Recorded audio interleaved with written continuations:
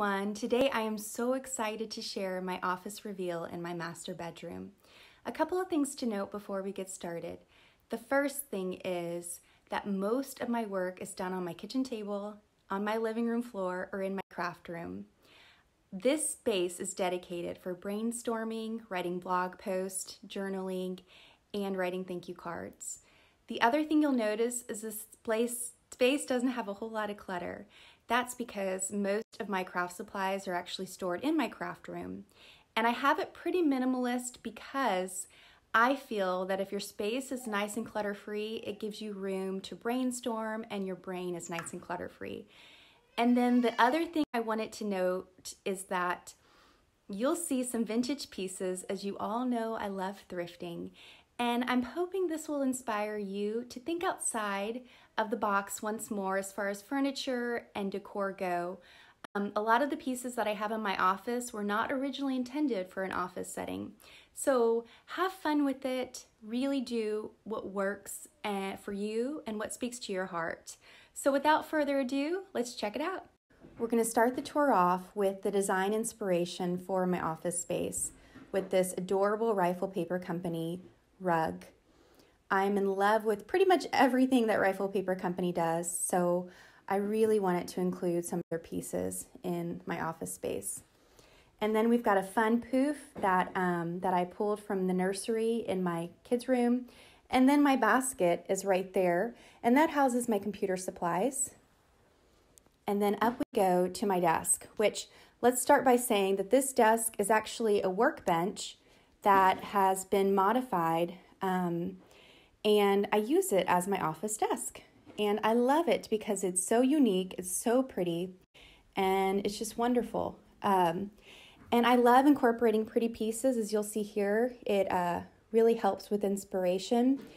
And as far as holding my scissors and my pens and note cards and so forth, that goes in this really cute lace container that I got from IKEA years ago.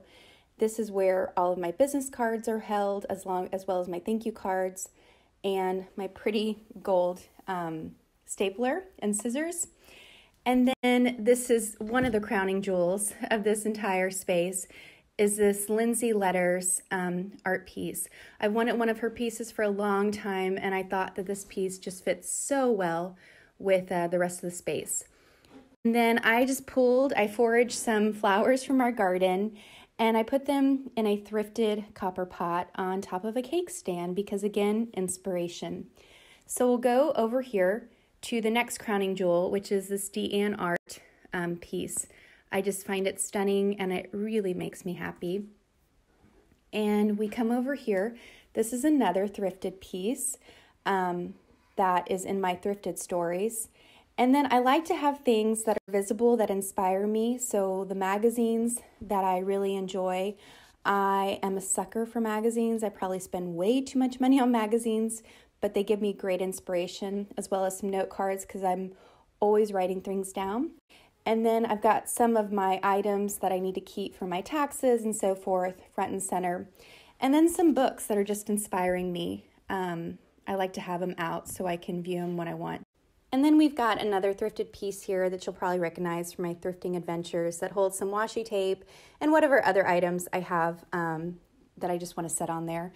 And then inside my cabinet, I've got um, items that I'm working on, uh, projects that are coming up, my fabrics, and just things like that that I can easily get to when I need to. And then some fun things that I just like to play with. Like I've got my embroidery stashed in here and then some lettering books that I've been working on. And then these are just some, uh, I hold my electronics in here and I've got some more magazines. Uh, there's nothing better than actually just reading a magazine and getting inspiration that way. And then all the extra paper that I have.